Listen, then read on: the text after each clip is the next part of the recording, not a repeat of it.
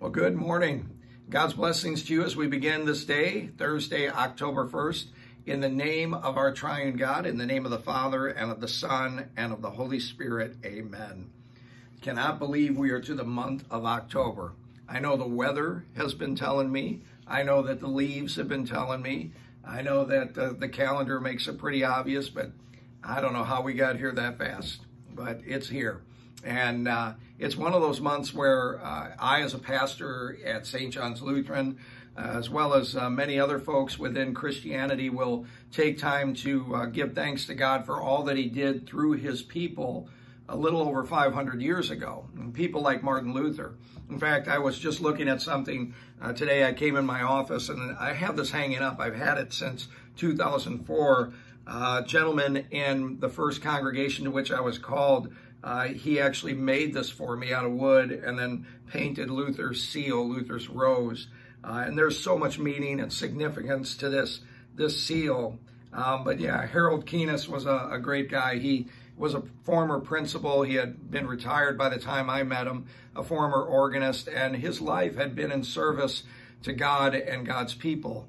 And I just thought that was such an awesome thing that he would give me something like that. But, you know, it is a re reflection on what we will celebrate at the end of this month in the Reformation of the church, where God reformed his church, called us back to his word, to the great truth of his word, and what justification is really all about, what that big word that sounds so churchy really means. But what it really means is that we've been saved by God, that there was nothing we could do uh, on our own to bring about salvation, to earn heaven, Uh, our justification, being justified by God, being made right by God, was all because of Jesus Christ. And that's what scripture reveals over and over because what a man like Martin Luther couldn't get away from was the fact that he knew he could never do enough. He could never do enough. How much is enough to earn God's favor? I mean, he knew the importance of, of good works, and just as you and I do, we should never, ever um, be seen as people who say that there's no importance to good works. We're called to live out the fruit of the Spirit. We're called to live out our faith. We're called to live out that love. We've talked about that so many times, that love that Jesus Christ has revealed to us and given to us. He is the light of the world, and we're to reflect and shine that light. We know that's important. But can you ever do enough? I mean, if your salvation being justified by God, justified in such a way that God would look at you and say, yeah, you're in. Uh, could we ever do enough? Because we always have this whole sin thing that keeps getting in the way. And for those of you who might think you don't sin that much, well, I got, well, I guess it's not good news for you. It's probably bad news. One sin is one too many. I don't care how small you think it is. It's enough for a big God to have to take action. In fact, Martin Luther once said something like this uh, when it comes to how we even look at our sinfulness. He says uh, in so many words that if you see yourself as a little sinner, you're inevitably going to see Jesus as a little Savior. Meaning you're not going to see that you need that much of a Savior. You're going to think you can do some things on your own, or even worse yet, you're just going to think you're not somebody who needs a savior. And that's a big mistake, a big mistake on anyone's part to ever think that way because Luther knew exactly what St. Paul knew. I'm going to read to you something that St. Paul wrote. I may have shared part of this before. I'm going to try to do it without my glasses, my readers. I don't even know what I did with them right now.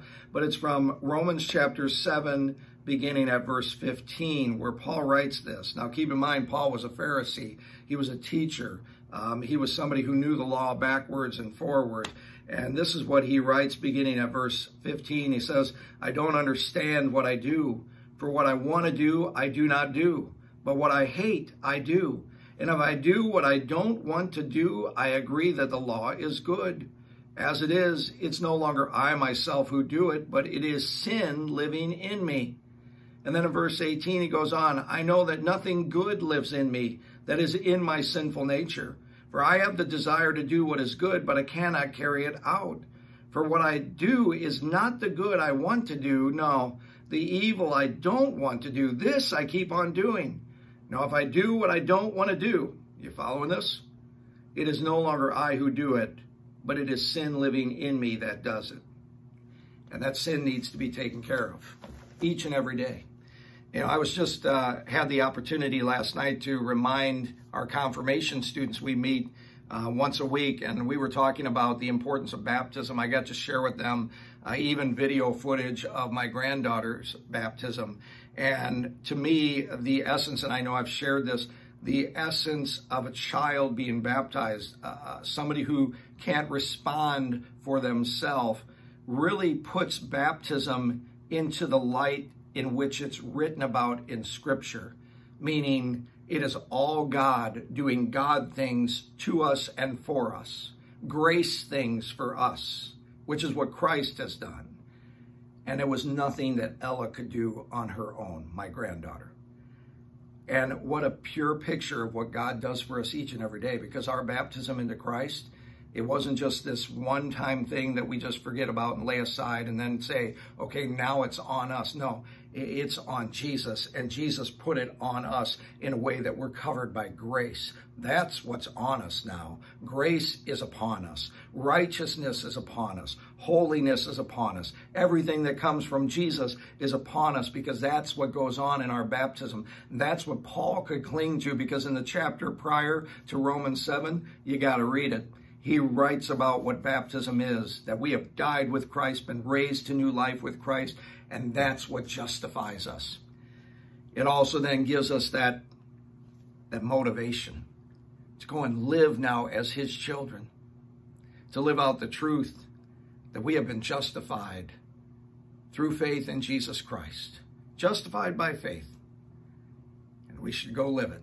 Let's pray to him. Lord Jesus Christ, we thank you as our justifier. We thank you as the one who has made us righteous and holy in the Heavenly Father's sight. We know we can't do it on our own, and we thank you, Lord, for revealing that you are a big Savior because so many times we tend to look at our sins and we will categorize them. We'll put them into categories where we think one is bigger or worse than another. And the bottom line is one is too many. Doesn't matter what it is. And that's why we need somebody big enough like you to come and take care of everything. And you have. So all glory and praise and honor be to you, Lord. Through your Holy Spirit, now lead us to go and live out uh, these justified lives, these new lives that we've been given, lives that have been claimed by you in holy baptism. In your precious name we pray. Amen. Jesus is our justifier, and he is a big God, a big Savior.